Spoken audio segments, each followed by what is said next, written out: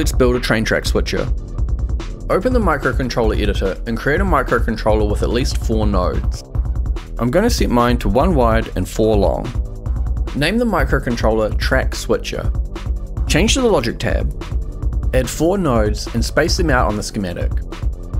Set the first node to an on-off input and change the name to Switch Track.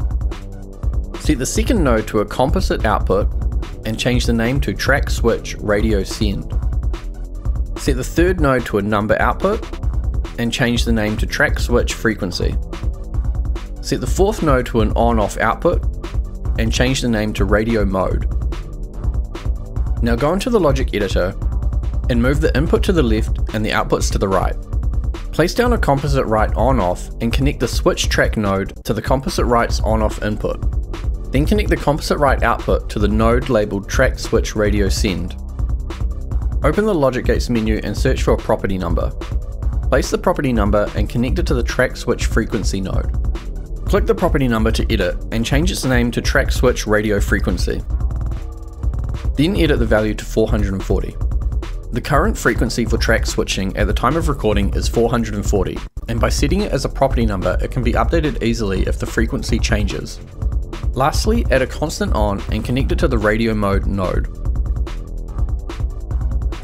Save this controller as track switcher. Head back into the vehicle editor and load in your locomotive. Open the parts menu and search for track switcher, then place down the microcontroller we just made. Open the parts menu again and search for radio. You can use any of these antennas as the only difference is range with the taller antennas giving you more range between your loco and the track switch. Place down your antenna, then open the parts menu again and place down a push button somewhere easy to access. Now we can hook up the logic.